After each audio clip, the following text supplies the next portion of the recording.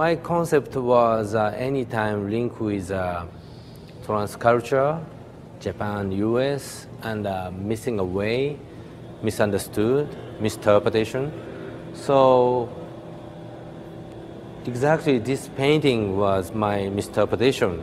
Uh, I couldn't get to the, the, the, the Western art concept. And I found the character, the Mr. DOB. Okay, so I can make a painting like minimalism.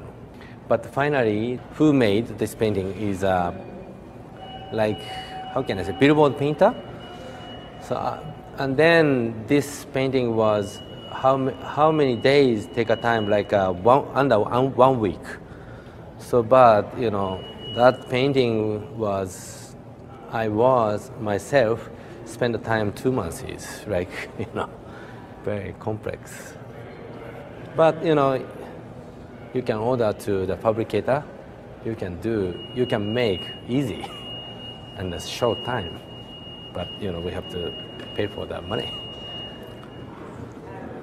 The 727, the title is uh, the Japanese cosmetic company, the name. So I found uh, some uh, billboard, uh, can see that from the train. So maybe that this company president thinking to the Boeing, you know, company, the airplane number 747 or something like that, where is, oh, it is cool. So, but exactly, you know, misunderstanding for the airplane, the number versus the cosmetic company name is completely stupid.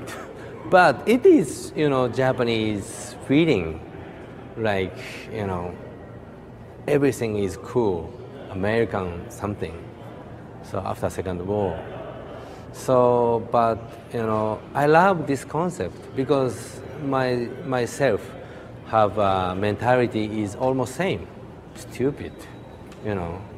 So the Mr. DOB is a no concept, but you know that uh, the, and then and then the painting was very big hit in my career. So I was really confusing. So it's it is good, but I don't know.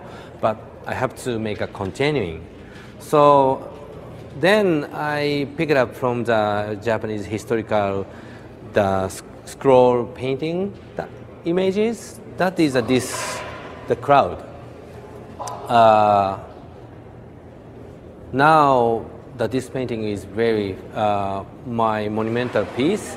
The the copyright Murakami's catalog, the front page, like a cover. But for myself, it, it, this painting also really, you know, embarrassing. So, but, you know, I was young,